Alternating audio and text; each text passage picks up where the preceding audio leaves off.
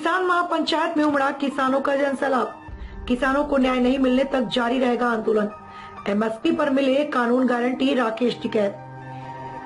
संयुक्त किसान मोर्चा की ओर से करीरी में स्थित भैरव बाबा कुश्ती दंगल स्टेडियम में आयोजित किसान महापंचायत में भारतीय किसान यूनियन के राष्ट्रीय प्रवक्ता और देश के प्रमुख किसान नेता राकेश टिकैत ने कहा कि जब तक सरकार एमएसपी पर कानून बनाकर तीनों कृषि कानूनों को वापस नहीं लेती, तब तक किसानों का यह आंदोलन जारी रहेगा। उन्होंने कहा कि सरकार किसान आंदोलन को क्षेत्रवाद, जातिवाद एवं छोटे बड़े किसानों के नाम पर बांटने का काम कर रही है। लेकिन किसान सरकार के बहकावे में नहीं आने वाला है। उन्होंने किसान महापंचायत को संबोधित करते हुए कहा कि देश में प्रतिवर्ष सरकार एमएसपी घोषित करती है। परंतु एमएसपी पर किसानों की फ़सल की खरीद नहीं होने के कारण किसानों को फ़सलों का उचित मूल्य नहीं मिल पा रहा। उन्होंने कहा कि आज़ादी के सत्तर वर्ष बाद भी किसानों के माल का मूल्य व्यापारी तय करता है। जो देश के किसानों के साथ अन्याय है। किसानों की लड़ाई सरकार के साथ साथ बड़े पूंजीपतियों से है, जो हमें एकजुट होकर लड़नी होगी।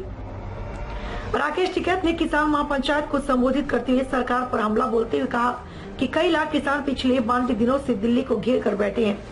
इसके बाद भी सरकार की नींद नहीं टूट रही। टिकैत ने यह भी कहा कि देश में भूख पर व्यापार नहीं करने दिया जाएगा।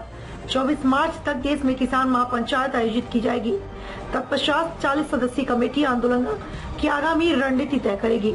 टिकैत ने किसानों को दिल्ली कूच का निमंत्रण देते हुए कहा कि खेत में मिट्टी अपने हाथ लेकर बॉर्डर पर आना, जिससे आपको गाँव की याद नहीं आए।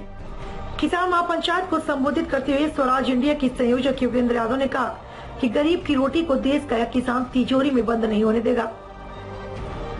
उन्होंने कहा कि अब हल चलाने वाला अब किसी के आगे हाथ नहीं जोड़ेगा। पंचायत में उपस्थित किसानों को संबोधित करते हुए कहा कि केंद्र की भाजपा सरकार की नीतियों के खिलाफ समस्त देश में जाएँगे, यह सिर्फ़ हरियाणा और पंजाब का आंदोलन नहीं, बल्कि पूरे देश के किसानों का आंदोलन है।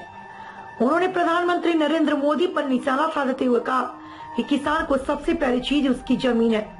यह उसी की लड़ाई है, उन्होंने कहा कि हमें सरकार की साजिश से बचना होगा। वो हमें तोड़ने की कोशिश कर रही है। उन्होंने कहा कि किसानों को उसकी फ़सल का न्यूनतम समर्थन मूल्य किसानों का हक है उसकी इस सक, इसकी सरकार के द्वारा कानूनी गारंटी मिलनी चाहिए। टोडा भीम के पूर्व विधायक घनश्याम महर ने कहा कि किसानों के आंदोलन को बानवे दिन हो गए और फिर भी केंद्र सरकार के कान पर जू नहीं रेंग रही है। इस आंदोलन में 225 से अधिक किसान शहादत दे चुके हैं। इस सरकार ने एक बार फिर उनके प्रति दुखद दुख प्रकट नहीं किया और सरकार ने आंदोलन को असफल करने के लिए अनेक तरह के प्रयास किए। एवं ओछी हरकतें भी की। केंद्र की मोदी सरकार ने किसानों के दिल्ली प्रवेश को रोकने के लिए दिल्ली की सड़कों पर कीले गाड़ी गई लेकिन हम किसान है। हम पत्थर का भी सीना चीर कर अनाज उगा सकते हैं। हम हार मानने वाले नहीं है। करीरी भैरव बाबा कुश्ती दंगल स्टेडियम में आयोजित किसान महापंचायत में पुरुषों के साथ क्षेत्र महिलाओं ने बड़ी संख्याओं में पहुंचकर महत्वपूर्ण भागीदारी निभाई। आधा दर्जन महिलाओं के द्वारा किसान महापंचायत को संबोधित किया गया।